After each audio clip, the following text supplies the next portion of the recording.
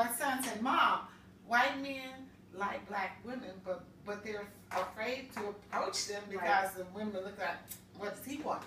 I told that to my girlfriend. Okay. So what she said, so I said, you and she's cute.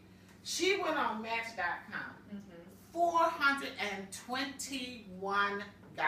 See? 80% white Jewish. I rest my case. Okay. But I'm telling but that's what but the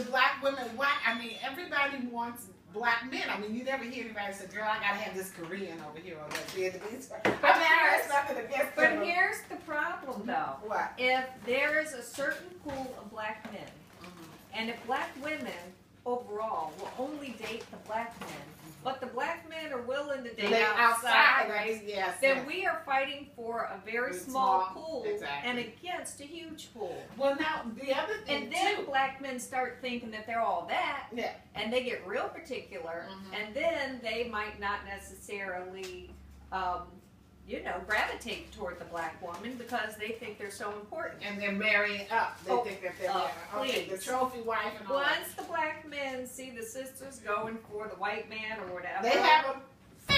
Yes! It'll be a whole That's what I know. Yes. Wait, wait. Whole new. And then, then the, the, I tell them, I said, look, we don't have that many black men, like you said, because they've been in jail, they've been killed, they're gay, they whatever. You know what I'm saying? Right, their educational they're, level right, not, not the same. You know, they were, are, they're. Give them Jewish boys a chance, man. but I think the problem too, though, is cultural. So. Yeah.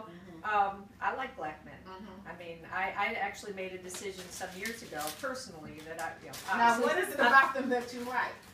Oh no, a lot of things. But I've, I've been married 25 years, so it's kind of all in the past for me, right? Because I got one black man now I got to worry about, and I, and I got to make sure I pay attention to him, right? Not all the other ones out there.